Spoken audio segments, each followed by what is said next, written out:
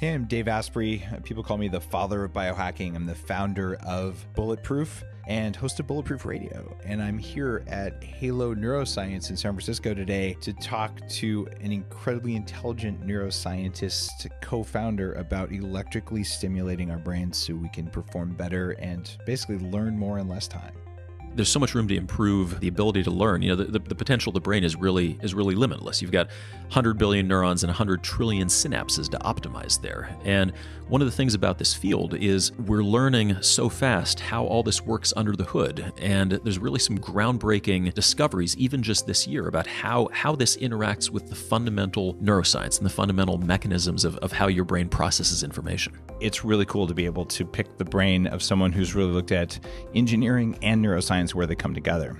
Brains love to learn and that, that's one of these fundamental things. It's neuroplasticity. That's what a brain does is it optimizes itself to get the job done. You know, that could mean the perfect backhand.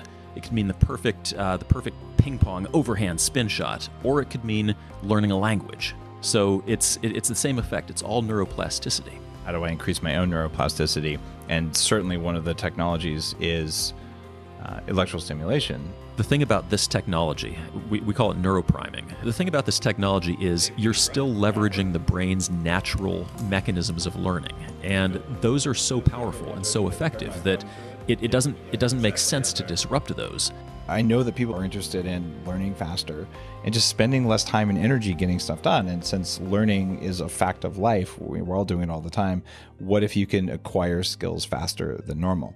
you know, this isn't. The, it's not the Matrix. We're not downloading kung fu into your brain. Um, you know, it's it's using technology to make sure that your brain is dialed in and ready to use its natural learning mechanisms where and when you want it. Powered by this halo. Okay, that's cool. I envision a world, because I live in it, um, a world where it's not as hard as we think it is to do all sorts of stuff. The fact is, everybody at the end of the day wants their brains to work better, and everybody has points in their life where they need to get more from the limited time that they have to learn or to train or whatever. And we're we're learning so fast, so much about how this works. We're going to know exactly the waveform to deliver that is best for whatever whatever category of stuff you want to learn and you're going to be able to dial that up. It's, we're going to be able to pair it with training content, learning content, optimize the stimulation for your personal electrophysiology, optimize the stimulation for the ebb and flow of your training, dial it in and